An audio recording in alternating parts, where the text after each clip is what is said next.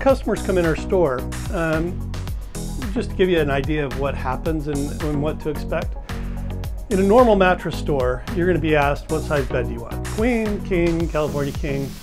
Um, that's kind of like the most leading question that you get in a traditional mattress store or even online. You know, pick your size and we'll ship you a bed. In our store, we spend a lot of time talking about your height, your weight, and your sleeping style. Don't need to know your height, don't need to know your weight. It's helpful. We can also kind of who you are, and it makes it very easy for us to guide you quickly and easily to the mattress that's going to be right for you and your partner.